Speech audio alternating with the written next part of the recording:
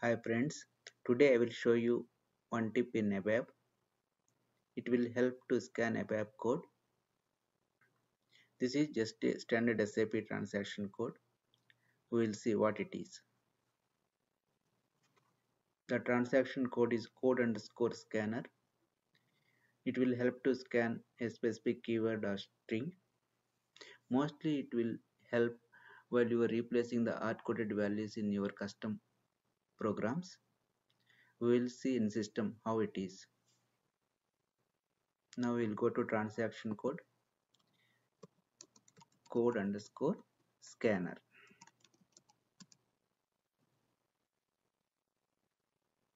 Here we have to provide the package name and also the string what you want to set and also where to scan.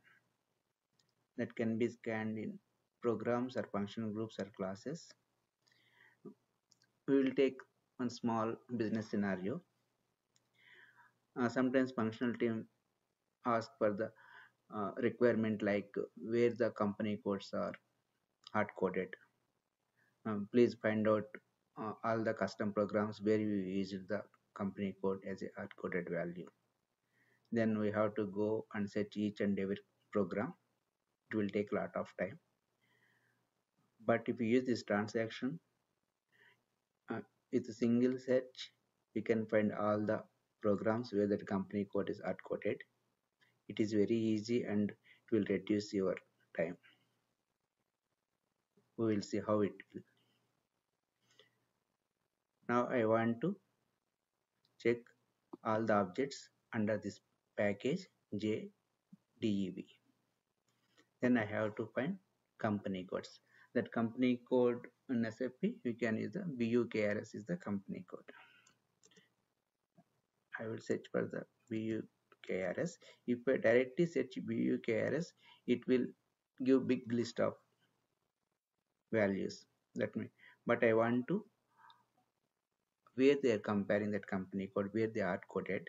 To simplify that one just I will try with the now at least it will reduce half of the list and also I will check now only in the programs.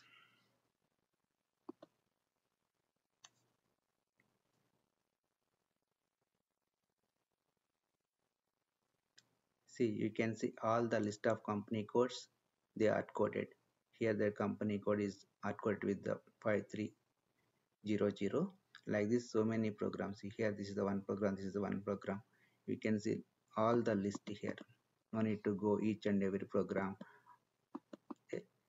From here itself we directly navigate to the program. Yeah directly you can go here and change that hard coded value. This is the very easy and very powerful transaction.